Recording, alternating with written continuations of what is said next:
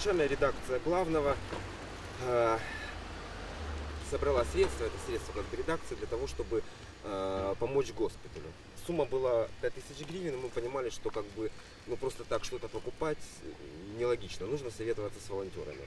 Э, девочки, которые помогают госпиталю, вот Ирина, мы связались и выяснили, что очень нужны хирургические костюмы. Э, кинулись искать.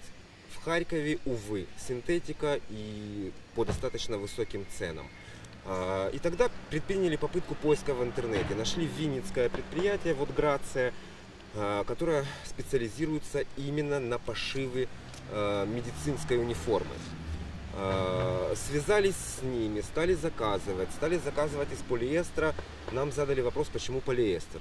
Потому что, ну как бы, понимают, что не очень как бы хорошая ткань и так далее и тому подобное. Мы объяснили, что вот есть сумма не более 5000 гривен, а нужно 20 хирургических костюмов. А, Задали вопрос, для чего.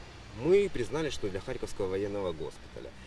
А, Сделали заказ, нам перезвонили и сказали, что, ребята,